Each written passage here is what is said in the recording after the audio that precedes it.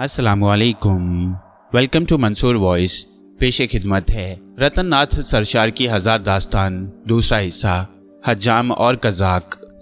अगली शब मलका शहरजाद ने अधूरी कहानी यूँ शुरू की ए शाह जहाँ पना हसन बदरुद्दीन को कुछ देर के लिए यहीं छोड़ती हूँ, और अब आपको दुल्हन और कुबड़े का हाल सुनाती हूँ। सुबह हुई तो दुल्हन ये देखकर हैरान रह गई कि उसके दुल्हा हसन बदरुद्दीन का कहीं पता नहीं। इतने में उसका बाप वज़ीर शमसुद्दीन आया कि चलकर देखूँ, बेटी किस साल में है। दरवाजे पर पहुंचकर लड़की का नाम लेकर पुकारा तो वह मारे खुशी के जामे में फूली ना समाई। अटकेलियाँ करती हुई निकल आई, अब्बा जान, बंदगी। कहकर ज़मीन को बोसा दिया। वज़ीर ने यह हालत देखी तो हैरत से पूछा, जाने बाबा, तुम इस कदर मसरूर क्यों हो? इस पर वज़ीर जादी बोली, बाबा जान, कि मेरी शादी बज़ाहिर तो इस कुबड़े से हुई, लेकिन असल में मेरा दुल्हा कोई और था। कुबड़े से शादी सिर्फ़ दिखावा थी। आप भी शुक्र कीजिए। अल्लाह ने हमारी इज़्ज़त रख ली। वज़ीर और भी हैरान हुआ, बोला, जाने बाबा, मैं ये क्या सुन रहा हूँ? मुझे अपने कानों पर यकीन नहीं आता। वज़ीर जादी ने अभी जवाब नहीं दिया था कि साथ वाले कमरे से किसी के कराहने की आवाज़ सुनाई दी। फ़ौरन वज़ीर उस कमरे में गया तो क्या देखता है कि वही कुबड़ा एक जगह औंधा पड़ा हुआ है, टांगे ऊपर है और सर नीचे। ये अजीब तमाशा देखकर वज़ीर शमसुद्दीन दंग रह गया। उधर कुबड़ा यह समझा कि जिन फिर कमरे में आ गया है, उसने कराहना बंद कर दिया और यूँ चुप साध ली। गोया ज़ुबान पर कुफल पड़ गया हो। वज़ीर ने पूछा, क्यों बे, ये क्या बेहूदगी है? तेरा दिमाग तो नहीं चल गया है? मगर कुबड़े ने कोई जवाब ना दिया, क्योंकि उसे मालूम था कि अगर ज़ुबान जरा भी हिलाई तो जिन उसे जीता ना छोड़ेगा। वज़ीर बहुत झिल्लाया और गरज कर बोला, अगर तूने जवाब ना दिया और यूँ ही चुप सादे पड़ा रहा तो अभी तेरी गर्दन उड़ा दूँगा। इस पर कुबड़े ने खौफ से कांपते हुए जवाब दिया ए जिनों के सरदार, खुदा की कसम खाकर कहता हूँ कि जिस वक्त से तूने मेरी टांगे ऊपर और सर नीचे किया है, जब से मैं इसी हालत में पड़ा हूँ। जरा भी नहीं हिला हूँ। मैं तेरे आगे हाथ जोड़ता हूँ कि मुझे गरीब मस्कीन पर रहम कर और इस सजा से निजात दे। मैं वादा करता हूँ कि फिर कभी इधर का रुख ना करूँगा। वज़ीर की हैरत और बढ़ी। या खुदा, ये क्या सरार है? ये कम वक्त मुझे जिन्नों का सरदार समझ बैठा है। फिर झिल्लाकर बोला कम वक्त ये क्या बकता है? मैं जिन्नों का सरदार नहीं, वज़ीर शमसुद्दीन हूँ, दुल्हन का बाप। लेकिन कुबड़े ने जवाब दिया, ऐ शख्स जा अपना काम कर और राह ले। मुझे यूँ ही पड़ा रहने दे कि मेरी जान उस जिन के हाथ में है। जो मुझे इस हालत में छोड़ गया है, वो मुझे किसी जिन की लड़की या बहन से ब्याह देगा और मेरा खाना खराब करेगा। खुदा उसको भी रोज़े बादे दिखाए और मेरे हाल को पहुँचे। वज़ीर बोला, मैं तुझे हुक्म देता हूँ कि उठ और यहाँ से दफ़ा हो जा। फिर कभी मनु सूरत ना दिखाना, नहीं तो खाल उधेड़ दूँगा। कुबड़ा टच से मस ना हुआ और बोला, आपका हुक्म सर आँखों पर, लेकिन बंदा जिनकी इजाज़त के बगैर हरगिज नहीं जाएगा। मेरा उसका अहद है। अगर मैंने वादे की खिलाफ वर्जी की तो जिनको क्या मुँह दिखाऊँगा? वह मुझे हुक्म दे गया है कि सूरज निकलने के बाद यहाँ से जाना लिहाजा बंदा मजबूर है। तब वज़ीर ने पूछा अच्छा ये बता, तू किसके साथ यहाँ आया? तेरे साथ दूसरा नौजवान कौन था? झूठ मत बोलना, नहीं तो हड्डी पसली एक कर दूँगा। कुबड़े ने जवाब दिया, मेरे साथ एक खूबसूरत नौजवान यहाँ आया था। शक्लो, सूरत और लिबास से कोई रईस ज़्यादा लगता था। फिर कुबड़े ने अपनी सारी सरगुजश्त अव्वल ताखिर सुना दी। जब मैं इस कमरे में पहुँचा तो अचानक पानी में से धुआँ उठा और होते होते एक भैंस में तब्दील हो गया। उसने मुझे डराया, वो डराया कि मेरे होश उड़ गए। जाते वक्त मेरा सर नीचे और टांगे ऊपर कर गया कि सुबह तक यूँ ही पड़े रहना, नहीं तो कच्चा चबा जाऊँगा। खुदा उस दुल्हन को गारत करे कि जिसके सबब मेरी ये गुत बनी। कुबड़े की ये बात सुनकर वज़ीर को बहुत गुस्सा आया। कुबड़े के दो तीन लातें जमाई और हुक्म दिया, अभी दफ़ा हो जाए यहाँ से। घूम कर देखा भी तो आँखें निकलवा दूँगा। कुबड़ा रोता हुआ यहाँ से चला और सुल्तान के दरबार में जाकर अपनी आबीती कह सुनाई। बादशाह ने कहा, चल दूर हो यहाँ से, तेरा मुकद्दर ही खराब है। वरना आज तो वज़ीर शमसुद्दीन का दामाद होता और यूँ तेरी टांगे ऊपर और सर नीचे ना होता। अब वज़ीर शमसुद्दीन का हाल सुनिए। उसने जो कुबड़े बदबख्त की कहानी सुनी तो बहुत हैरान हुआ कि ये क्या राज है। फिर अपनी बेटी से पूछा, जाने बाबा, उस कुबड़े ने जो कहानी सुनाई है, उसमें क्या राज है? ये जिन और भैंस का क्या किस्सा है? और वो नौजवान कौन था, जो कुबड़े के साथ यहाँ आया? और सुबह होते ही गायब हो गया। वज़ीर की बेटी ने जवाब दिया, बाबा जान, कुबड़े का हाल मैं क्या जानूँ? हाँ उस नौजवान के बारे में कह सकती हूँ कि वो बहुत शरीफ और कोई अमीर ज़्यादा लगता था। ना जाने वो रात के किस पहर को यहाँ से चला गया। ये पगड़ी उसकी है, जो आपके सामने रखी है। ये सुनकर वज़ीर ने पगड़ी उठाई और बगौर देखने लगा या खुदा, ये तो किसी वज़ीर की पगड़ी है और मूसल शहर की बनी हुई है। इसके बाद एक तावीज़ पगड़ी की टोपी की तह में सिला हुआ पाया। शौक चुराया कि खोलकर देखूँ तो सही कि इसमें क्या चीज़ है। खोला तो उस तावीज में कागज़ नज़र आया, जिसमें यहूदी का अहदनामा तहरीर था। हसन बदरुद्दीन इबन नूरुद्दीन बाशिंदा काहरा मिसर का नाम पढ़ा। इसके बाद जब एक और कागज़ पढ़ा तो ज़ोर की चीख मारी और गश खाकर ज़मीन पर गिर गया। लड़की ने बाप की जो ये हालत देखी तो घबरा गई। सुराही से पानी का गिलास भरा और बाप के मुँह पर पानी के छींटे दिए। चंद मिनट बाद वज़ीर ने होश में आकर आँखें खोल दी। फिर बुलंद आवाज़ से कहा, वाह बारी ताला, तेरा कोई शरीक नहीं। तू करीमो कारसाज है, कादर मुतलक और बंदा नवाज़ है फिर अपनी बेटी को कागज़ पर लिखी हुई तहरीर पढ़कर सुनाई और बोला, बेटी, कुछ समझी? किसके साथ तुम्हारा निकाह हुआ है? वो बोली, बाबा जान, मैं उसके नाम से आगा नहीं हूँ। मुझे तो बस इतना ही पता है कि वो उस कुबड़े के साथ यहाँ आया। तब वज़ीर ने बताया, मेरी बेटी, तेरा मियाँ मेरे छोटे भाई नूरुद्दीन का बेटा है। उसका नाम हसन बदरुद्दीन है। वाकई तो बड़ी खुशकिस्मत है बेटी। खुदा ने बड़ा करम किया। अल्लाह अकबर अल्लाह अकबर। उसकी करीमे के कुर्बान। समझ में नहीं आता ये लड़का यहाँ क्यों कर आया किस फरिश्ते ने इसे यहाँ पहुँचाया? मुझे कानो कान खबर नहीं। फिर बाकी तहरीर पढ़ी तो नूरुद्दीन की शादी की तारीख दर्ज पाई और फिर हैरान हुआ कि यह वही तारीख थी। जब उसकी अपनी शादी हुई, इसके बाद हसन बदरुद्दीन की पैदाइश की तारीख लिखी थी। पढ़ते ही गुंचाए दिल खिल उठा, इसी तारीख को उसकी बेटी पैदा हुई। ये सब कागजात लेकर वज़ीर शमसुद्दीन बादशाह के दरबार में हाजिर हुआ और तख्त को बोसा देकर कहा, जहाँ पना, ये अजीब इत्तफाक है कि मेरा और नूरुद्दीन का निकाह एक ही दिन को हुआ और एक ही तारीख को मेरे यहाँ लड़की और उसके यहाँ लड़का पैदा हुआ और अब उसने इत्तफाक से उसी के लड़के हसन बदरुद्दीन से मेरी बेटी का निकाह हो गया हालाँकि हमें कानो कान खबर नहीं। बादशाह ये सुनकर बड़ा हैरान हुआ, हुक्म दिया, ये अजीबोगरीब वाक्य फ़ौरन लिख लिया जाए कि इस तरह की दास्तान इससे पहले सुनने में नहीं आई। अब वज़ीर अपने भतीजे और दामाद हसन बदरुद्दीन की आमद का मुंतजर रहा और जब अरसे तक कोई खबर न पाई तो बहुत फिक्रमंद हुआ। कुछ सोचकर दिल में कहा कि अब वो काम करूँगा जो किसी से नहीं हुआ और ना आज तक किसी को सूझा। अब सुनिए कि कुछ अरसे बाद हसन बदरुद्दीन की बीवी, यानी वज़ीर शमसुद्दीन की बेटी के यहाँ चाँद सा लड़का पैदा हुआ। वज़ीर शमसुद्दीन ने नवासी की पैदाइश पर बहुत खुशी मनाई। गरीबों को उम्दा खाना खिलाया, मोहताजों में कपड़े बांटे और दोस्तों अहबाब की दावत की। काफ़ी सोच विचार के बाद अपने नवासी का नाम अजीब रखा। अजीब की उम्र बारह बरस की हो गई, मगर उसके बाप हसन बदरुद्दीन का कुछ पता न चला कि कहाँ और किस साल में है। शमसुद्दीन को बड़ी तशवीश हुई। फिर दिल में सोचा, क्यों ना बादशाह से इजाज़त लेकर हसन की तलाश में जाऊँ? बेटी से मशवरा किया तो उसने भी यही कहा कि हमें ज़रूर उसको तलाश करना चाहिए। तब वज़ीर ने दरबार में जाकर बादशाह से कहा, बादशाह ने बखुशी इजाज़त दे दी। इशारे की देर थी, सब सामान मुहैया हो गया। वज़ीर ने अपनी बेटी और नवाज़ से अजीब को साथ लिया और सफ़र पर चल निकला। तीसरे रोज़ ये लोग शहर दमिश्क में पहुँचे और कुछ दिन तक यहाँ ठहरने का इरादा किया। एक कुशादा मैदान में खेमे लगाए वज़ीर ने अपने खादमों से कहा, दो दिन तक हमारा यहाँ क्याम रहेगा, जिस किसी को जो देखना हो देख आए, जो लेना हो ले आए। खादिमों ने जो ये सुना तो शहर की सैर को गई। कोई इस घर से गया कि कुछ खरीद लाए, कोई इसलिए गया कि कुछ फरोख्त करके नई चीज़ें खरीद लाए। कोई हमाम को गया और कोई दमिश्क की मशहूर मस्जिद की जियारत को चला। अजीब भी एक ख्वाजा सरा को हमला लेकर शहर की सैर को गया। शहर के लोगों ने जो अजीब को देखा तो अशज कर उठे। ऐसा खूबरू लड़का उन्होंने कम ही देखा था। जिधर से वो निकल जाता, एक जमाना जमा हो जाता, एक पर एक गिर पड़ता। उसने इतफाक से एक गुलाम हसन बदरुद्दीन की दुकान के सामने ठहर गया। ये वही दुकान थी जिसमें काजी और गवाहों के सामने उस डाकू बावर्ची ने हसन बदरुद्दीन को अपना बेटा बनाया। बावर्ची को मरे हुए अब अरसा हो चुका था और हसन बदरुद्दीन उसकी तमाम जायदाद का अकेला वारिस था। एक गुलाम के वहाँ ठहरने से दूसरे गुलाम भी वहाँ ठहर गए। अचानक हसन बदरुद्दीन की नज़र अजीब पर पड़ी। देखकर अशश कर उठा। उसका जी चाहा कि अभी दुकान से उतरकर इस लड़के को अपने गले से लगा ले। उसका दिल बेकाबू होकर अजीब की तरफ़ खिंचा जाता था। और वो हैरान था कि या इलाही, इस लड़के की मोहब्बत में मेरा खून क्यों इस कदर जोश खाने लगा है? दूसरी हैरान कन बात यह थी कि हसन बदरुद्दीन और अजीब की सूरत एक दूसरे से बहुत मिलती जुलती थी। बदरुद्दीन ने उसी वक्त अनार का शरबत तैयार किया और लड़के की तरफ़ देखकर बोला ए आकाजादा अगर मुजायका ना हो तो यह शरबत नोश फरमाइए। अजीब ने जो ये अल्फाज सुने तो उसका भी दिल भर आया। ख्वाजा सरा की तरफ़ देखकर कहा, इस शख्स की बातों ने मेरे दिल पर जादू का काम किया है और मेरे दिल में भी इसके लिए मोहब्बत पैदा हो गई है। खुदा जाने ये कौन है, मगर मुझे इससे हमदर्दी पैदा हो गई है।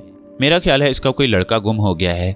चलो, इसके दिल को तसल्ली दें और जो कुछ खिलाए खुश होकर खाएँ। शायद इस तरह से खुदा मेरे बिछड़े हुए बाप को मुझसे मिला दे और हमारे सोए हुए भाग जाग उठें। मगर ख्वाजा सरा ने मना किया और कहा, हजूर, अल्लाह जानता है ये बात नामुनासिब होगी। आप तो लड़के बन के छूट जाएँगे, मगर गुलाम को सजा भुगतना पड़ेगी। मगर अजीब कहाँ मानने वाला था। ख्वाजा सरा को साथ लेकर दुकान में आ गया। बदरुद्दीन ने अनार का मीठा और खुशबूदार शरबत पेश किया। ख्वाजा सरा और अजीब ने मिलकर पिया। जब वो दोनों शरबत पीकर फारिग हुए तो हसन बदरुद्दीन ने शुक्रिया अदा किया कि आपने गरीब खाने पर कदम रंजा फरमाया। इज़्ज़त बख्शी मरतबा बढ़ाया। अब कुछ तनावुल फरमाइए।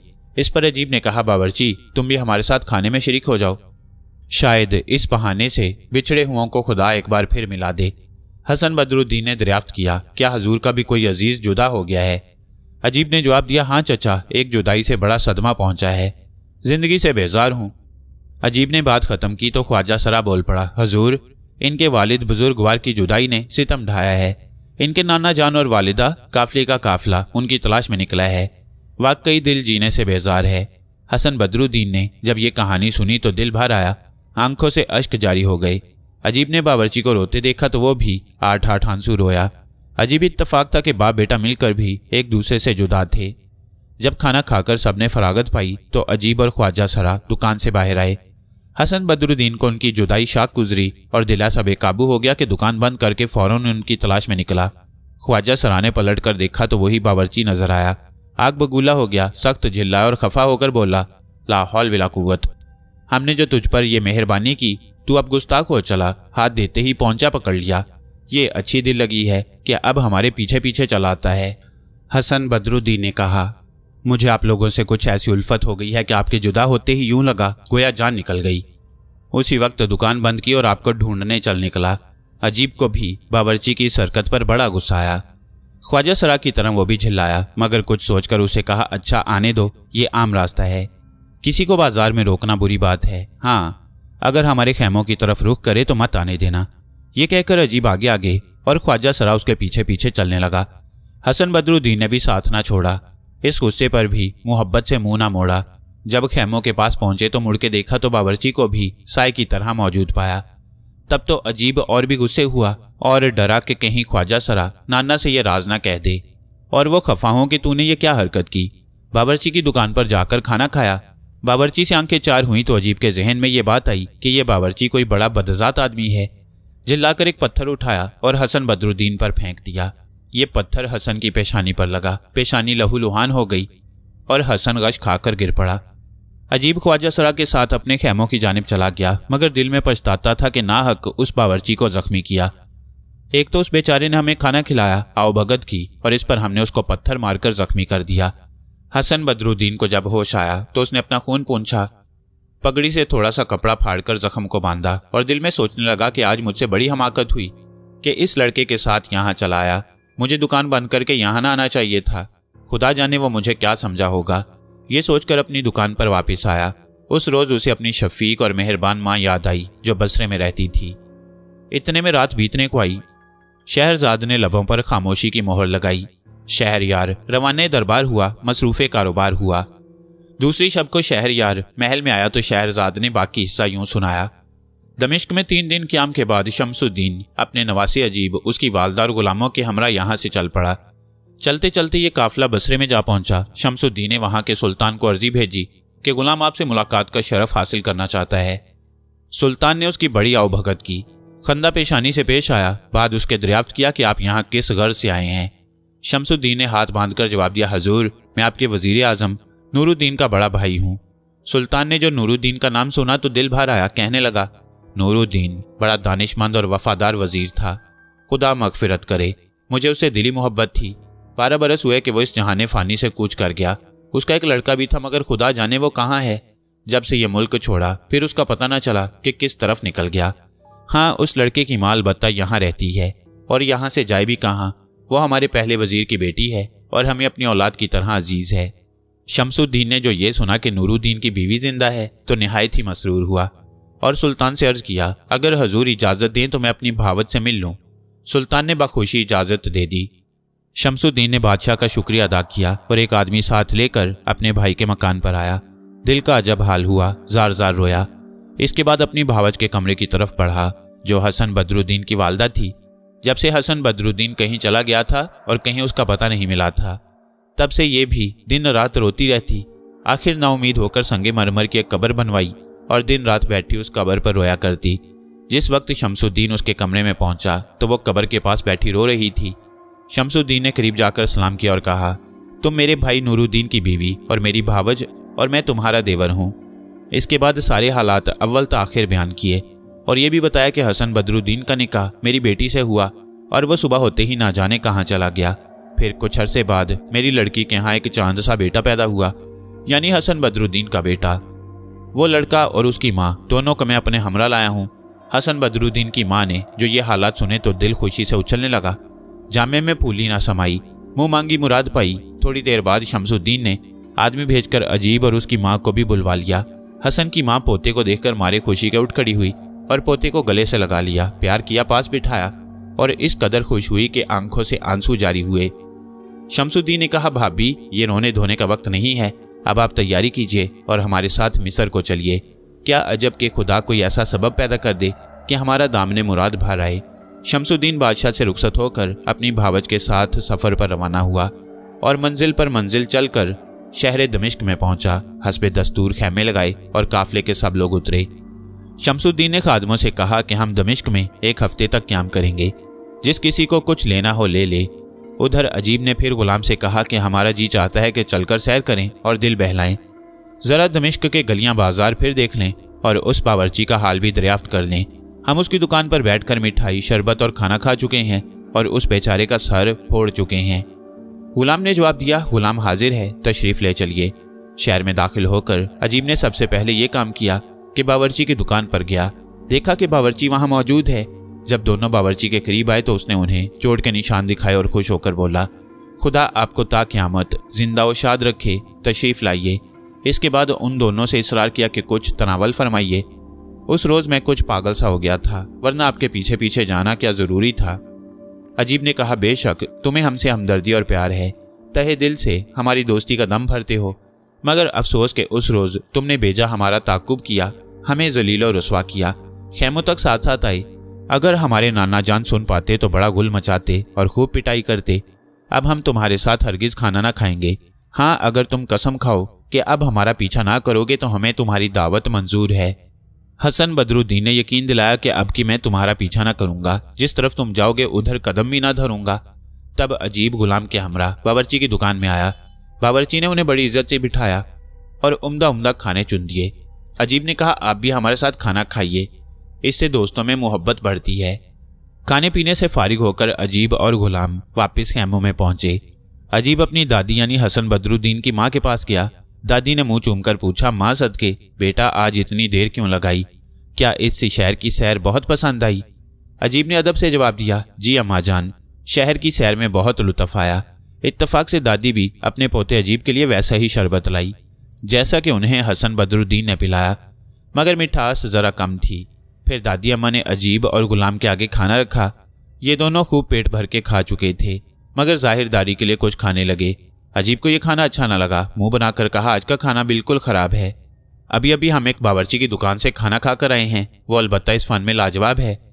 इतना लजीज खाना हमने घर में कभी नहीं खाया।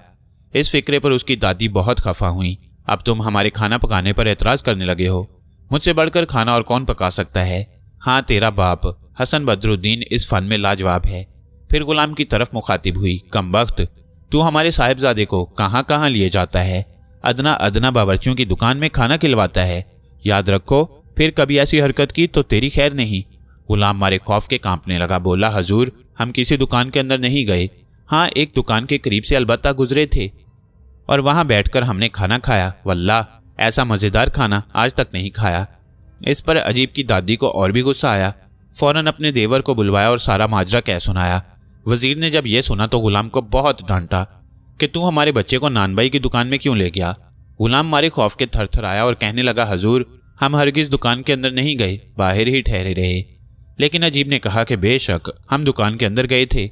वहाँ हमने खाना भी खाया, मिठाई भी खाई और इसके अलावा शरबत भी पिया। वज़ीर को और भी तैश आया। फ़ौरन लौंडियों को हुक्म दिया कि गुलाम को ज़मीन पर गिरा दो और चाबुक मारते मारते इसकी खाल उधेड़ दो। लौंडियों ने हुक्म की तामील की। गुलाम पर चाबुक बरसने लगे। उसने आसमान सर पर उठा लिया। वो चाबुक बरसे के छठी का दूध याद आया। आखिर वज़ीर को रहम आ गया और लौंडियों को मना कर दिया। फिर गुलाम से पूछा, झूठ बोलने की सजा तू पा चुका।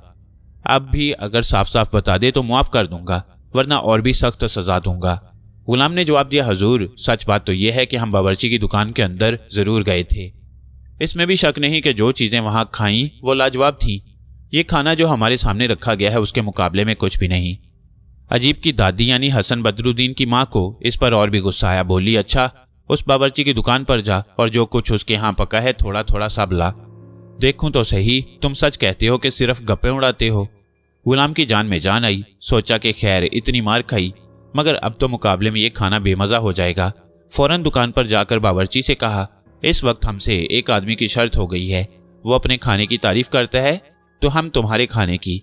बावर्ची ने मुस्कुरा कर कहा, अल्लाह जानता है इससे बढ़कर कोई तैयार ही नहीं कर सकता। हाँ मेरी वालदा पकाती हैं या मैं पकाता हूँ? तीसरे को मैं कब ख्याल में लाता हूँ? इसके बाद उसने खाना, मिठाई और शरबत दिया और उसमें मुश्क और गुलाब मिला दिया।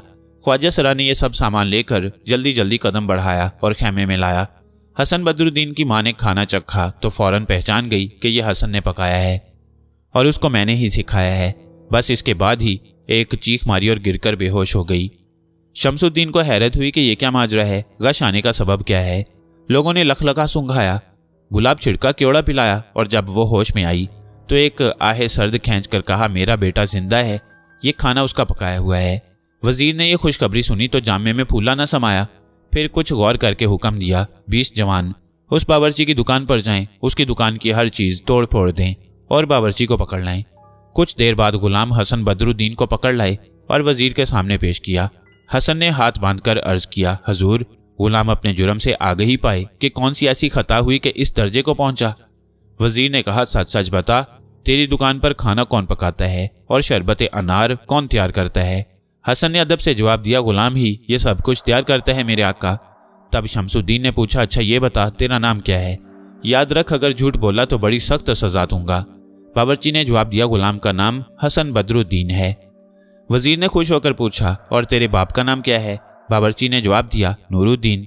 अब तो शमसुद्दीन को यकीन हो गया कि यही उसका भतीजा है, लेकिन फिर पूछा, तुम्हारे बाप का कोई बड़ा भाई भी था? वो कहाँ है? बावर्ची बोला, मेरे चचा का नाम शमसुद्दीन है, वो काहिरा के सुल्तान के वज़ीर हैं। तब शमसुद्दीन ने कहा, अगर ये बात है तो तुम बावर्ची क्यों कर बने? हमें सारा किस्सा सुनाओ। जवाब में हसन बदरुद्दीन ने, जो कुछ उस पर बीती थी, हरफ बहरफ क्या सुनाई? फिर शमसुद्दीन ने अपनी भावत से कहा कि वो बावर्ची को गौर से देखकर पहचाने कि यही तो उनका बेटा हसन बदरुद्दीन नहीं है। उसने देखते ही पहचान लिया कि यही उसका हसन बदरुद्दीन है। फिर क्या था? मुद्दत के बिछड़े हुए गले मिल मिल कर रोए और दिलों के गुबार धोए, वज़ीर शमसुद्दीन की कोशिश ठिकाने लगी। वो अपनी दुख्तरे नेक अख्तर, भतीजे हसन बदरुद्दीन, नवासे अजीब और अपनी भावज के साथ हँसी खुशी रहने सहने लगा। वज़ीर जाफ़र ने खलीफा हारून रशीद से कहा ए बादशाह ये थी दो भाइयों की दास्तान, जो मैंने हजूर की खिदमत में अर्ज़ कर दी। खलीफा इससे बहुत खुश हुआ और उसने मुजरमों की सजा मुआफ कर दी। इतने में गुंचाए शहर खिलखिलाया। शहर यार की नमाज़ का वक्त आया। शहरजाद ने अर्ज़ किया कि अब लौंडी को रुखसत फरमाइए और शब को तशरीफ़ लाइए। एक और अजीबो गरीब दास्तान सुनाऊँगी, हजूर का दिल बहलाऊँगी। जब रात को बादशाह महल में आया तो शहर यार ने यह किस्सा सुनाया। बहुत अरसा गुजरा, शहर बसरा में एक दर्जी रहता था। हर फर्द बशर उसकी उस्तादी का दम भरता। उस दर्जी का मामूल था कि हर रोज़ अपनी बीवी के हमरा सैर तफरी के लिए बाहर जाता और दुनिया के अजायब गराइब से लुत्फ उठाता। एक रोज़ दोपहर को दोनों मियाँ बीवी घर से सैर करने निकले। इत्तफाक से रास्ते में उनकी मुलाकात एक कुबड़े से हुई। उस कुबड़े की शक्ल सूरत ऐसी थी कि देखने वाले अपनी हँसी चाहे भी तो रोक ना सकता। उन दोनों ने उसे इसरार किया कि इस वक्त हमारे साथ आओ और आज की रात हमारे मेहमान रहो। कुबड़े ने उनकी यह दरख्वास्त मंजूर की और उनके हमरा उनके घर की राह ली। जब घर करीब आया तो दर्जी ने बाज़ार का रास्ता लिया और कुबड़े को अपनी बीवी के पास छोड़ दिया। थोड़ी देर में दर्जी वापस आया तो शीरमाल, मछली और शरबत लीमू साथ लाया। मछली उस कुबड़े के आगे रख दी और कहा, खाइए मज़े मज़े से नोश जान फरमाइए। ये कहकर दर्जी ने मछली का एक बड़ा सा टुकड़ा उठाकर कुबड़े के मुँह में डाला और अपने हाथ से उसका मुँह बंद करते हुए बोला तुम्हें खुदा की कसम, इस मछली को निगल जाओ। मगर शर्त यह है कि एकदम खाओ, जरा मुँह चलाओ, ना हिलाओ। कुबड़ा मछली को गट से निकल गया, मगर निगलते ही खुमियाजा उठाना पड़ा। मछली के साथ ही इतना बड़ा कांटा निकल गया कि हलक के नीचे से ना उतर सका। तड़पने और तिल मिलाने लगा, और खुदा की मर्ज़ी कुछ ऐसी हुई कि उसका तड़प तड़प कर दम निकल गया। दर्जी ये माजरा देखकर हैरान रह गया, फिर गुल मचाया कि लाहौल विला कुवत इस बेचारे ने इस हसरत से दम तोड़ा और दुनिया से मुँह मोड़ा। अफसोस के हमारे हाथों इसकी मौत आई। खुदा ने यह घड़ी इसके मरने की मुकर्र फरमाई। दर्जी की बीवी ने कहा, अब इस हाय हाय और वाय वाय से क्या फ़ायदा? अब वो काम करो कि सांप मरे, ना लाठी टूटे। हम इस मुसीबत से छूटें और किसी को कानो कान खबर ना हो। दर्जी ने जवाब दिया, अब कोई तदबीर, कारगर नहीं हो सकती। हर कोशिश बेकार है। दर्जन बोली, हमारी सलाह मानो। कुबड़े की लाश को छाती से लगाओ और एक रेशमी कपड़े में लपेट कर मेरे पीछे पीछे आओ। अगर कोई पूछे कि कहाँ जाते हो और ये क्या छुपाए लिए जाते हो तो कहना मेरी गोद में मेरा प्यारा बच्चा है। आगे आगे इसकी माँ जाती है। हम इस बीमार बच्चे को हकीम साहब के पास लिए जाती हैं। दर्जी ने कुबड़े की लाश को एक रेशमी चादर में लपेटा और उठाकर छाती से लगा लिया। आगे आगे बीवी पीछे मियाँ जाते थे और लोगों को सुनाने के लिए ये गुल मचाते थे। या अल्लाह, मेरे बच्चे को बचा ले। या अल्लाह, हमारे बच्चे को सलामत रखना। चाहे हम मर जाएँ, मगर हमारे बच्चे पर आँच ना आने पाए। राह में जिस किसी ने उनकी ये हालत देखी, समझा कि बच्चा अलील है, जब ही हकीम साहब के पास जा रही हैं। दर्जी की बीवी बड़ी चालाक थी। लोगों से पूछती जाती कि, लोगों, अगर किसी के करीब हकीम का मकान बताओगे तो खुदा से इसका अजर पाओगे? लोगों ने रहम खाकर एक यहूदी हकीम के घर का पता बताया, और दो भले आदमियों ने रास्ता भी दिखाया। उन्होंने हकीम के मकान पर जाकर दरवाज़ा खटखटाया एक हबशन खादमा अंदर से आई और पूछा, किसकी तलाश में आए हो? कैसा मरीज़ लाए हो? दर्जन ने जवाब दिया, हमारा बच्चा बीमार है। ये पाँच रुपए हमारी तरफ़ से, हकीम साहब को दो। और उनसे कहो कि बच्चे को देखकर जल्द नुस्खा लिख दें। हबशन पाँच चमकते दमकते रुपए लेकर हकीम साहब को जगाने आई। उधर दर्जन और दर्जी ने कुबड़े की लाश को दरवाजे से लगा, वहाँ से हवा खाई। खादमा ने हकीम जी को जगाया और कहा, एक मर्द और एक औरत अपने बच्चे को इलाज के लिए लाए हैं। और ये पाँच रुपए भिजवाए हैं। यहूदी हकीम आँखें मलता हुआ चला तो दरवाज़ा खोलते ही लाश से टकराया। समझा ये कि मेरी ठोकर से मरीज़ गिरकर हलाक हुआ, अब अजाब में गिरफ़्तार होऊँगा, कोतवाल की सख्तियाँ सहूँगा, कातिल करार पाऊँगा, सफ़ाई के गवाह कहाँ से लाऊँगा? यहूदी ने घर में जाकर अपनी बीवी से ये अजीब माजरा कह सुनाया। उसने कहा, मैं एक तरकीब बताती हूँ, गो औरत हूँ मगर तेरी तरह से नहीं घबराती हूँ। पड़ोस में एक मुसलमान बनिया रहता है, उसके गोदाम में लटका के छोड़ और इस मुसीबत से नाता तोड़, वरना सुबह को अजाब से दो चार होगा। शब को उस मुसलमान बनिए के गोदाम में कुत्ते, बिल्लियाँ, चूहे, चूहियाँ, लाश को खा जाएँगे। बस हड्डियाँ ही हड्डियाँ सबको नज़र आएँगी। यहूदी ने अपनी बीवी के साथ मकान में उतर कर गोदाम की राह ली और वहाँ जाकर लाश खड़ी कर दी, फिर वापस आकर मकान बंद करके आराम किया। यहूदन ने बड़ा काम किया। अब सुनिए, उधर जब बनिया अपने घर वापस आया तो गोदाम में आदमजाद नज़र आया। गुल मचाया कि आज बाद मुद्दत अपना चोर हमने पाया। मैं तो चूहों और बिल्लियों ही को रोता था। ये तो आज ही मालूम हुआ कि हज़रत इंसान का भी यहाँ गुजर है। मगर ये चोर भी कितना दिलावर और नडर है। अच्छा रास्ता निकाला। मैं कुत्ते बिल्लियों से लाख लाख छुपाता था, मगर छुटकारा ना पाता था। घी और गोश्त की रोज चोरी होती। गुस्से में आकर तीन चार लाठियाँ रसीद की और इस ज़ोर से झिल्ला के दी के कुबड़े की लाश गिर पड़ी। गिरते ही दो एक घूंसे और एक चपत लगाई। करीब जाकर देखा तो कुबड़े साहब की लाश नज़र आई। देखते ही बदहवास और परेशान हुआ, कहा, या खुदा, किस मुसीबत का सामना है? आखिर इस नतीजे पर पहुँचा कि बचने की सिर्फ़ यही एक सूरत है कि लाश को लाद कर ले जाऊँ और कहीं चुपके से फेंक कर वापस आ जाऊँ। बस लाश को पीठ पर लाद कर चला और चलते चलते एक दुकान के सहारे सड़क के किनारे खड़ा कर दिया। फिर झटपट घर की तरफ़ भाग उस वक्त एक ऐसाई जो सुल्तान का दारोगा था और हमाम की तरफ़ जाता था, वो समझा कि ये कोई चोर है।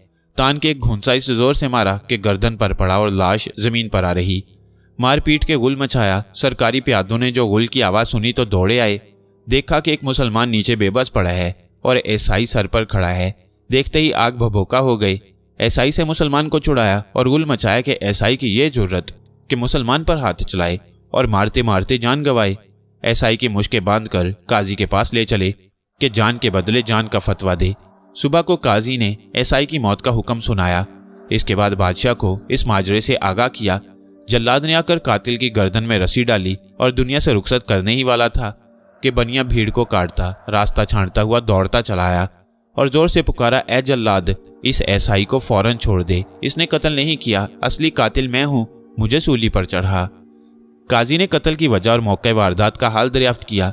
बनिया ने सच सच कह सुनाया तब काजी ने हुक्म दिया कि एसआई को छोड़ दो और बनिए को फांसी पर लटका दो।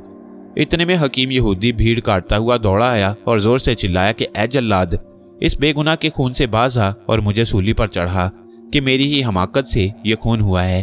काजी ने हुक्म दिया कि इसको छोड़कर इन हकीम साहब की नब्ज देखो। अचानक मियाँ दर्जी ज़मीन के गज बन के दौड़े आए और कहा, फांसी का फंदा हकीम की गर्दन में पूरा नहीं आता। क्यों इसको सूली पर चढ़ाता है? असल कातिल तो मैं हूँ। ये बेचारा तो बेगुनाह है।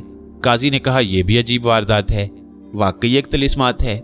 चार कातिल हैं और एक मकतूल और सबका उजर माकूल।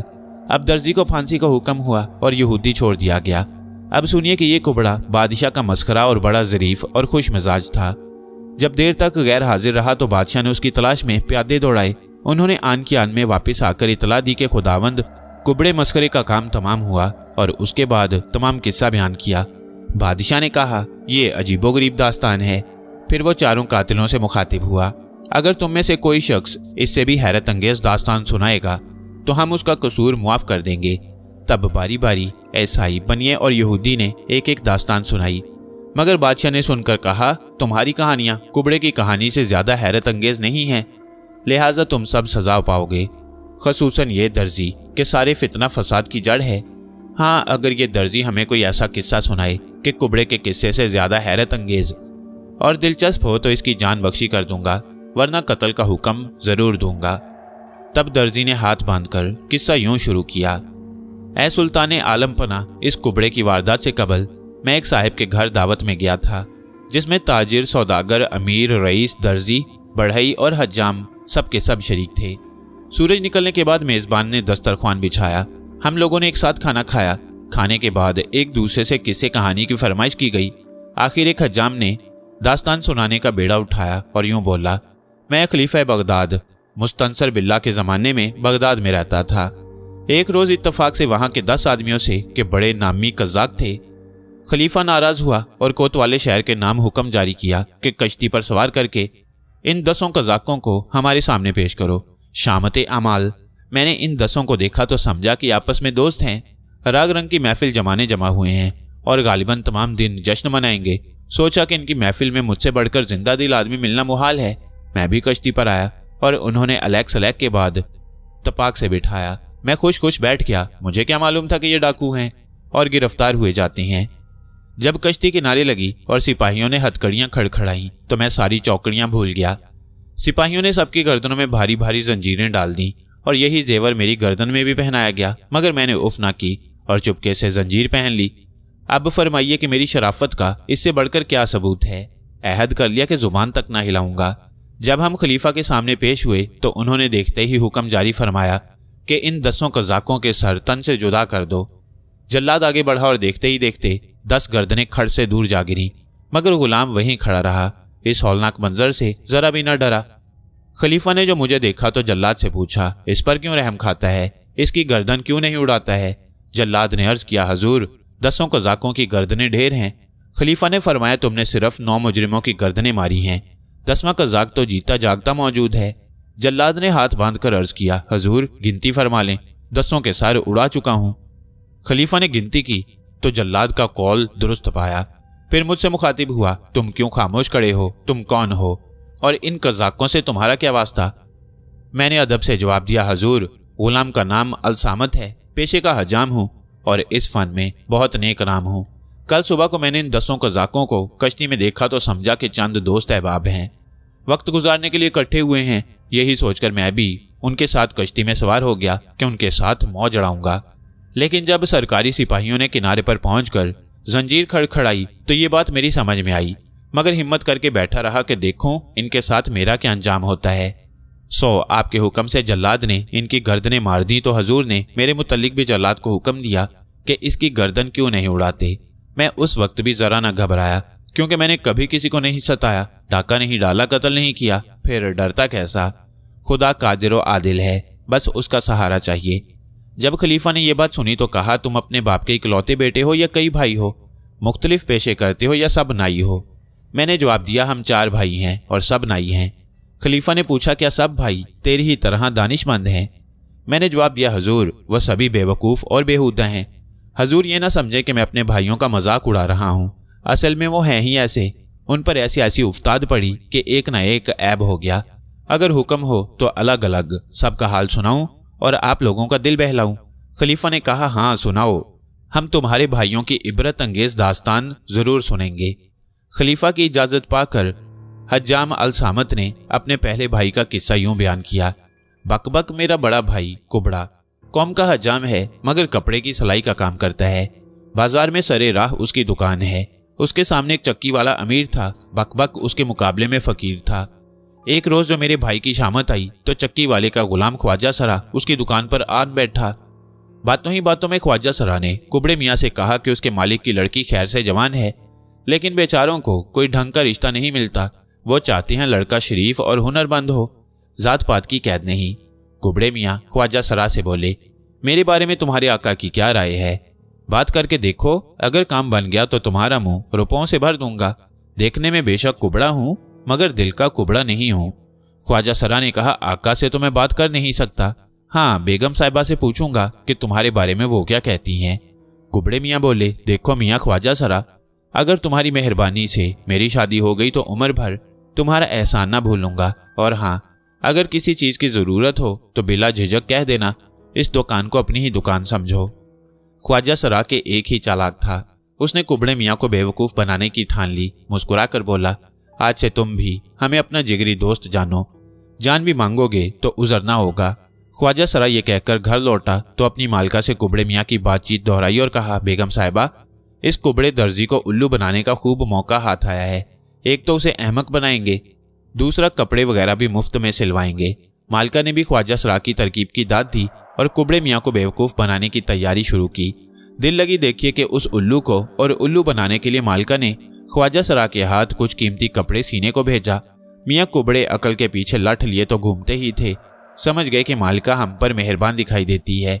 दिन भर मियाँ कुबड़े ने सुई हाथ से न रखी शाम को सब कुछ सी सी लाकर ख्वाजा सरा को दिया और कहा, मालिका से कह देना, गुलाम बेदाम हूँ, दर्जी बराए नाम हूँ। जितने कपड़े जी चाहे सिलवाइए, उजरत का ख्याल भी दिल में ना लाइए। गर्ज ख्वाजा सरा, कपड़े लाता रहा और कुबड़े मियाँ दिन रात सीते रहे। दूसरा ग्राहक आता उसे इनकार कर देते। आखिर नतीजा ये हुआ कि जेब खाली हो गई। यहाँ तक कि एक दिन भूखे ही सोना पड़ा। दूसरे रोज ख्वाजा सरा फिर उनको बेवकूफ़ बनाने और कहा मियाँ बीवी दोनों को तुम्हारा काम बहुत पसंद है। अब पाँचों घी में है। चैन करो। मगर खूब दिल लगाकर कपड़े सियो कि सोने की चिड़िया हाथ आई है। किस्मत आजमाई है। मालिकन ने कहला भेजा है कि आका के कपड़े भी तुम ही सिया करो। कुबड़ा अजल का बेवकूफ़ और भी भूल गया। उजरत और सलाई सब भूल गया। ख्वाजा सरा के साथ मकान तक गया। चक्की वाले ने बहुत सा कपड़ा दिया और कहा, अच्छी सिलाई होगी तो इनाम पाओगे, वरना फिर यहाँ फटकने ना पाओगे। कुबड़े मियाँ ने और भी जान लड़ा दी और जल्द तैयार करके ले गया। चक्की वाला उसकी सलाई देने लगा तो बीवी ने इशारे से मना कर दिया। उस अहमक ने भी सलाई लेने से इनकार कर दिया और खाली हाथ वापस आया। जब फाकों से मरने लगा तो मुझसे कहा, कुछ खिलवाओ, थोड़ी सी रकम दिलवाओ। अभी लोगों से सिलाई नहीं मिली। जब पाऊँगा, फ़ौरन दे जाऊँगा। मैंने भाई समझकर कुछ पैसे दे दिए कि भूखा मरेगा तो लोग मुझसे ही कहेंगे कि तेरा भाई भूखों मरता है और तू दिन रात ऐश करता है। मगर उस घामड़ को अकल न आई। और उसी तरह दिन रात मुफ़्त में उनके कपड़े सीता रहा। जब काफ़ी दिन गुजर गए तो उन लोगों ने उसे जलीलो रुसवा करने की एक तदबीर सोची। चक्की वाले ने शाम के वक्त उस बेवकूफ़ कुबड़े को घर बुलाया और बड़ी खातिर तवाजों के साथ बिठाया और दस्तरखान बिछवा कर उसको उम्दा खाना खिलवाया, बातें की, दिल बहलाया। जब रात भीगी तो इसरार किया कि अब घर जाना फजूल है। अपना ही घर समझकर यहीं रात बिताइए। सुबह होगी तो चले जाइए। ये कहकर चक्की वाले ने एक जगह बता दी और वहीं उसकी खटिया बिछा दी। जब आधी रात हुई तो चक्की वाले ने कुबड़े को उठाया और कहा, भाईजान, आज मेरा खच्चर बीमार है और सुबह को सरकार में आटा देना है। अगर जरा देर होगी तो मेरी जान हवा होगी। तुम जरा सहारा दोगे तो काम बन जाएगा कुबड़े मियाँ ने सोचा कि जहाँ तक मुमकिन हो सके एहसान करो, फ़ौरन बात मंजूर कर ली। चक्की वाले ने खच्चर की जगह मियाँ कुबड़े को चक्की में जोता और कुबड़ा चक्की चलाने लगा। जब फिरते फिरते थक गया और थक के हाँपने लगा तो चक्की वाले ने कस के दो तीन चाबुक मारे। तब तो उसकी बुरी गुत हुई। बिल बिल आया चिल्लाया कि बंदा इसी आराने से बाज आया। चक्की पिसवाता है और चाबुक भी जमाता है। चक्की वाला बोला, भाई, कसूर मुआफ करो। बंदा आदत से मजबूर है। मैं खच्चर को इसी तरह पीटा करता हूँ। चक्की वाले ने बड़ी संगदिली दिखाई। सुबह तक बराबर चक्की पिसवाई। इसके बाद कुबड़ा अपना समूह लेकर चुपचाप भागा और मुड़ के देखे बिना घर का रास्ता ताका। खलीफा ने हंसकर कहा यह कहानी तुमने खूब सुनाई, हमें पसंद आई। मैंने खलीफा का शुक्रिया अदा किया और दूसरे भाई की दास्तान शुरू की। हजाम ने कहा, मेरे दूसरे भाई का नाम बोबक था, क्योंकि अक्ल से जो खुदा की एक नेमत है, उसका दिमाग बिल्कुल खाली था। वो जन्म का अंधा था, पेशा उसका भीख मांगना था, कंजूस इतना था कि एक एक पाई पर जान देता, जो कुछ मिलता ज़मीन में दफन कर देता, अपने ऊपर एक धेला तक खर्च न करता। इत्तेफाक से एक रोज एक बहुत बड़े महल के दरवाजे पर जाकर उसने दस्तक दी। अंदर से कुछ जवाब न आया। उसने फिर दस्तक दी। तब अंदर से मालिक मकान की आवाज़ आई, कौन है? उसने कुछ जवाब ना दिया। खामोश खड़ा रहा।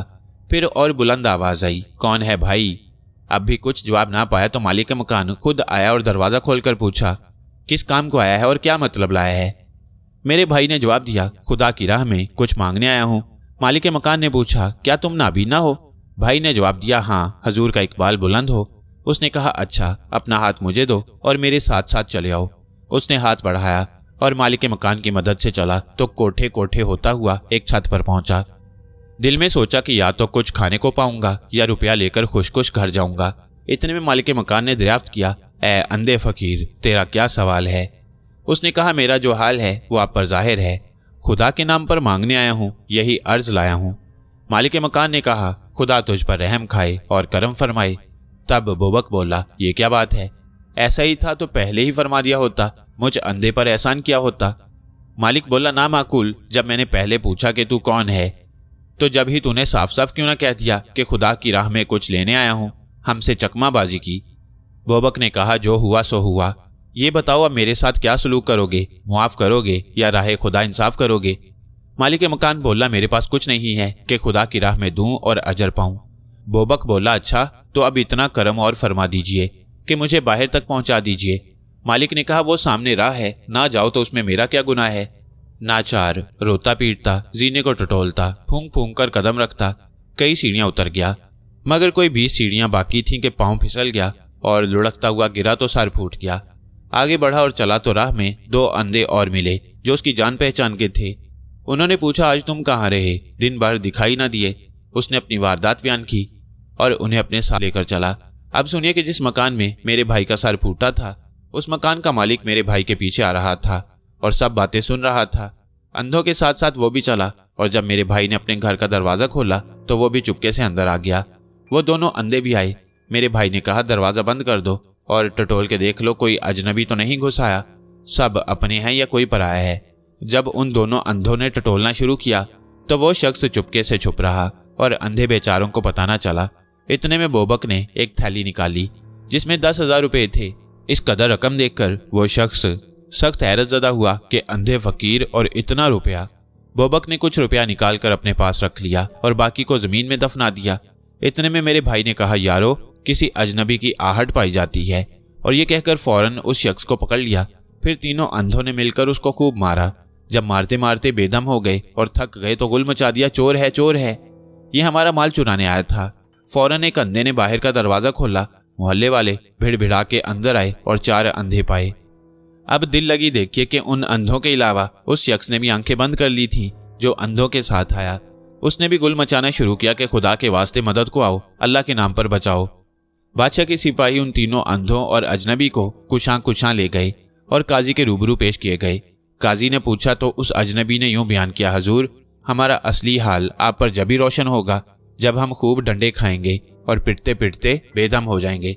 सबसे पहले हजूर, मुझसे शुरू करें। काजी ने हुक्म दिया उसको बांधकर खूब डंडे लगाओ। जब डंडे पड़ने लगे तो उस शख्स ने आँखें खोल दी। काजी हैरान हुआ कि यह क्या बात है। उसने कहा, खता मुआफ हो और गुलाम के साथ इंसाफ हो तो असल हाल का इजहार करूँ? काजी ने कहा, मैंने तुमको मुआफ किया। उस शख्स ने कहा, हजूर हम चारों अंधों ने मकर किया है और अंधे बन गए हैं। इसी बहाने मज़े उड़ाते हैं, लोगों के घरों में घुस जाते हैं, जोरों माल लूटते हैं और उन्हें सताते हैं। इस तरकीब से हमने धोखा और फरेब दे देकर दस हज़ार रुपया जमा कर लिया, घर भर लिया। मैंने इनसे कहा कि, भाई, तुम मेरे हिस्से के ढाई हज़ार दे दो और अपना हिस्सा ले लो, मगर ये इस पर राज़ी ना हुए और मुझे मारने पीटने लगे। अब खुदा के नाम पर इंसाफ चाहता हूँ। अगर हक बात को मालूम करना है तो इनको भी सजा दीजिए और कच्चा चट्ठा इनकी जुबानी सुन लीजिए। मार के आगे भूत नाचे, मसल मशहूर है। देखिए, अभी आँख खोल देती हैं और सच बोल देते हैं कि नहीं। काजी को शख्स की बात का पूरा पूरा यकीन हो गया और हुक्म दिया कि इन तीनों पर बारी बारी डंडे पड़े। जो आँखें खोल दे उसका कसूर सरकार से मुआफ हो और जो आँखें ना खोले तो उसको और भी सख्त सजा दो। पहले मेरे भाई की नौबत आई, वो इस कदर पिटा, इस कदर पिटा के मुफ़्त में जान पर बनाई। काजी ने झिल्ला कर कहा ए बदबख्त आदमियों आँखों वाले होकर अंधे बनते हो और कुफराने नेमत करते हो। इस पर मेरे भाई ने कहा, या खुदा, तू दानाओ बीना है और खूब जानता है कि हम तीनों अंधे हैं। मगर काजी के हुक्म से उसे फिर पीटा जाने लगा और वह बेहोश हो गया। अब हुक्म हुआ कि जरा दम लो और जब कुछ कुछ होश आए तो फिर मारना शुरू कर दो। अजनबी ने कहा, अब तो आँखें खोलो, वरना और ज़्यादा पीटे जाओगे। डंडे खाते खाते खाल उखड़ जाएगी। अब सुनिए कि उस अजनबी ने जो देखा कि चकमा कारगर हो गया तो काजी की खिदमत में अर्ज़ की कि, हजूर, ये लोग इस सबब से आँखें नहीं खोलते कि अवाम के सामने बेआबरू होंगे। बेहतर यह है कि गुलाम जाकर कुल असबाब उठा लाए और सरकार के सपुर्द कर दिया जाए।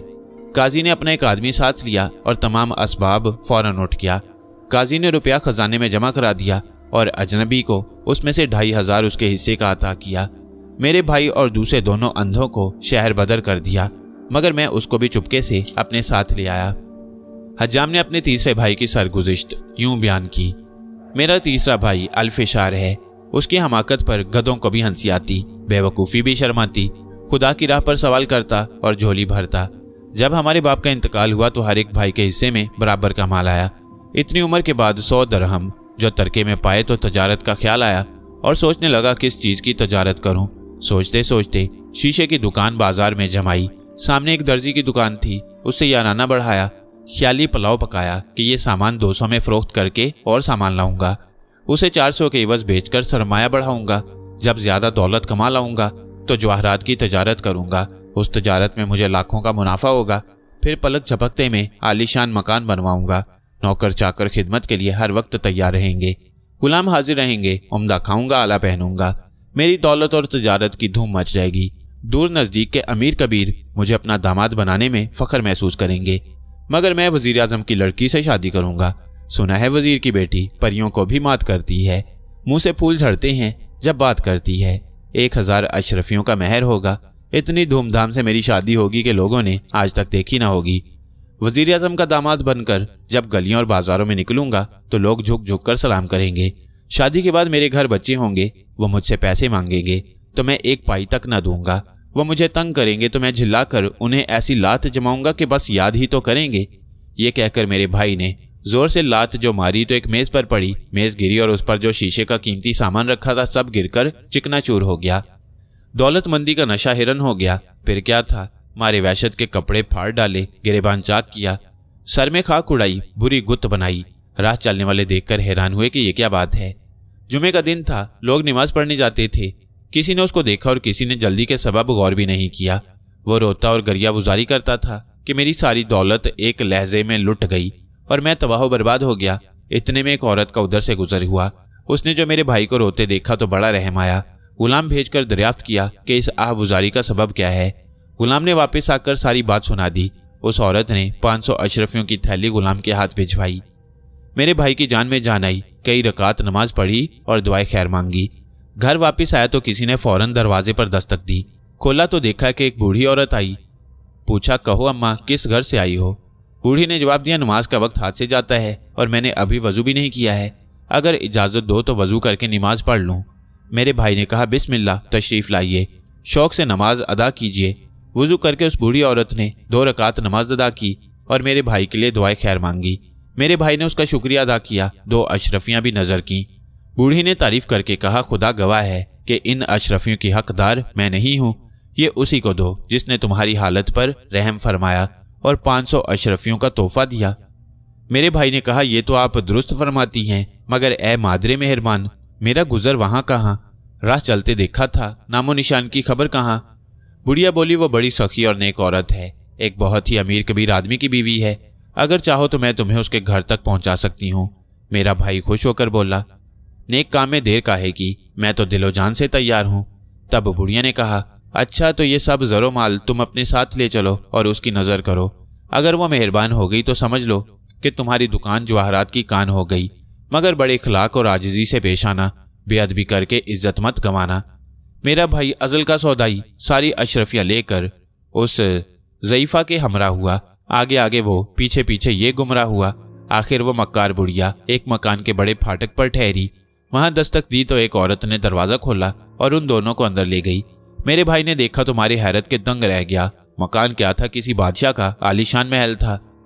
कमरे आरास्ता सजे सजाए, पर्दे बेश बहा। फर्श पर कालीन बिछे हुए, इतने में एक औरत अंदर आई। मेरे भाई को खुश आमदीद कहा। मेरे भाई ने कुल अशरफियाँ उसके सामने ढेर कर दी। वो इस नजराने पर फूली न समाई। खुश होकर उसे साथ लिया और एक और कमरे में ले आई। ये कमरा सब कमरों से ज़्यादा आरास्ता था। थोड़ी देर तक बातें करती रही। फिर उठ खड़ी हुई और कहा, खबरदार, यहाँ से ना हिलना, मैं अभी वापस आती हूँ। ये कहकर चली गई। अभी चंद लम्हे गुजरे होंगे कि एक गुलाम हबशी काला भुजंग ग्रांडील, नंगी तलवार हाथ में लिए, शेर बब्बर की तरह धारता है और कहा, तेरी कजा आई है, मौत तुझे यहाँ लाई है। यहाँ तेरा क्या काम है? जो तुझको लाया उसका क्या नाम है? ओ लईन, जवाब दे, वरना अभी सजा पाएगा, लाशा फड़कता नज़र आएगा। मेरे भाई ने जो इस देवनुमा इंसान की सूरत देखी तो थर्रा उठा कि अब मौत आई। ज़ुबान बंद हो गई। गुलाम हबशी ने उसको पकड़ा और गिनकर अस्सी मुक्के लगाए। तो होशो हवास गायब हो गए। जान पर बान आई और बेहोश हो गया। हबशी उसका मुर्दा समझकर चला गया और इस ज़ोर से नारा बुलंद किया कि ज़मीन पर गोया बोंचाल आ गया। इसके बाद एक लड़की आई और एक तश्तरी में नमक लाई। जख्मों पर नमक छिड़का और जख्म और भी हरे होकर खुल गए। मगर ये सब सख्तियाँ उसने बर्दाश्त की और जरा भी अपनी जगह से ना हिला। चुपचाप बैठा ही रहा कि शायद उस देव को मालूम हो जाए कि अभी ज़िंदा है तो ज़रूर मार डालेगा। लड़की नमक छिड़क कर चली गई तो वह बुढ़िया आ गई। मेरे भाई को लाशा बेकफन समझकर घसीटा और एक गार में खींच कर डाल दिया, जहाँ और कई लाशें पड़ी थीं। दो दिन के बाद जब जरा जान आई तो किसी न किसी तरह वहाँ से भाग निकला। अंधेरे में टटोलता हुआ चला और एक मुकाम पर छुपकर खड़ा हो गया। वह बुढ़िया चली के किसी और बदबख्त को फांस लाए, रुपया छीनकर हबशी से मरवाए और लाशों के अंबार में फेंक दे। यही उसका शुगल और कार था। बुढ़िया के पीछे पीछे मेरा भाई भी चला, घर पहुँचा और कई रोज तक अपने जख्मों का इलाज करवाता रहा। जब तक जख्म भर नहीं गए, तब तक बिल्कुल खामोश रहा, किसी से कुछ ना कहा। जब जख्म ठीक हो गए तो एक पुराना कपड़ा लेकर उसकी थैली बनाई और उसमें शीशे के टुकड़े भर दिए। कमर में बांधा और भेस इस तरह बदला कि कोई पहचान ना सके। तलवार कपड़ों के अंदर छुपाई और अजनबियों की कथा बनाई। एक रोज उस बुढ़िया से सामना हो गया। ये लहजा और ज़ुबान बदल कर बोला, क्यों बड़ी भी कोई तराजू जैसी चीज़ तुम्हारे पास नहीं है, जिसमें 900 अशरफियाँ तोली जा सके? बुढ़िया ने कहा, मेरा लड़का सर्राफ है, उसके पास हर किस्म के तराजू हैं, मगर वो बहुत जल्द कहीं जाने वाला है। अगर चलता है तो मेरे साथ चला, देर ना लगा वह फ़ौरन तेरी अशरफियाँ तोल देगा। मेरा भाई बोला, तुम्हारा बहुत बहुत शुक्रिया, बड़ी भी चलो, मैं तुम्हारे पीछे पीछे चलता हूँ। चलते चलते वो मक्कार बुढ़िया उसी मकान के दरवाजे पर पहुँची और दस्तक दी। इस बार भी वही लड़की नमूदार हुई, शिकार देखकर हँसी खिलखिलाई। बुढ़िया ने कहा, आज मैं तुम्हारे लिए एक मोटा ताज़ा शिकार लाई हूँ। लड़की ने मेरे भाई का हाथ पकड़ा और मकान में ले गई। थोड़ी देर उसके पास बैठी, फिर ये कहकर चली गई कि अभी आती हूँ। इसके जाते ही वही हबशी गुलाम तलवार लिए आन धमका। मेरा भाई फ़ौरन उठ खड़ा हुआ और मौका देखकर तलवार का ऐसा तुला हुआ हाथ मारा कि हबशी की गर्दन भुट्टा से उड़ गई। फिर मेरे भाई ने उस लड़की को पुकारा। वो नमक दान लिए दौड़ी आई, मगर हबशी की लाश को देखा तो भाग गई। लेकिन मेरे भाई ने उसका पीछा किया और एक ही वार में उसका काम तमाम किया। अब उसने बुढ़िया को आवाज़ दी, वो फ़ौरन आई। मेरे भाई ने कहा, ओ कम वक्त, जालिम बुढ़िया, तू मुझको जानती है, कुछ थोड़ा बहुत पहचानती है।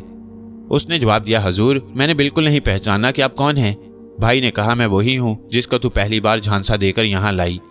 बुढ़िया की तो जान ही निकल गई। गिड़गिड़ा कर कहने लगी, खुदा के लिए कसूर माफ़ कीजिए। मगर मेरे भाई ने एक ना सुनी और एक तुला हुआ हाथ मारा और बुढ़िया की गर्दन कटकर दूर जा गिरी। अब मेरे भाई को इस औरत का ख्याल आया, जिसके सामने उसने अशरफियाँ ढेर की थी। दूसरे कमरे में भाई ने उसे तलाश कर लिया। वो उसे जीता जागता देखकर फ़ौरन कदमों में गिर गई। उसने कसूर मुआफ कर दिया और कहा कि अब ये धंधा छोड़ और घर का सारा सामान मेरे हवाले कर। वो बोली कि, तुम कुछ मजदूर ले आओ। भाई मजदूर लेने बाज़ार में आया और कुछ देर बाद दस मजदूरों के साथ जब वापस आया तो वो औरत गायब थी। बचा खुचा सामान उठाया और घर ले आया। सुबह उठा तो क्या देखता है कि बीस पच्चीस सिपाही मकान को घेरे खड़े हैं। उन्होंने उसे गिरफ़्तार किया और काजी साहब के रूबरू पेश किया। काजी ने उसकी दास्तान सुनी और सिर्फ़ इस कदर सजा दी कि शहर छोड़कर चला जा, वरना सख्त सजा पाएगा। भाई ने उसी को गनीमत जाना और दूसरे शहर चला गया। मैंने उसका खोज लगाया जब यह खबर पाई तो सीधा वहाँ गया, उसको ढूंढ लिया, खुफिया तौर पर इस शहर में ले आया और खाने पीने का वजीफा मुकर कर दिया। खलीफा ने यह दास्तान सुनकर अफसोस का इजहार किया और हजाम ने इजाज़त पाकर अपने चौथे भाई का किस्सा शुरू किया। मज़े मज़े की कहानियाँ सुनने के लिए सब्सक्राइब करें मंसूर वॉइस और साथ ही बेल बटन को भी दबाएँ। शुक्रिया।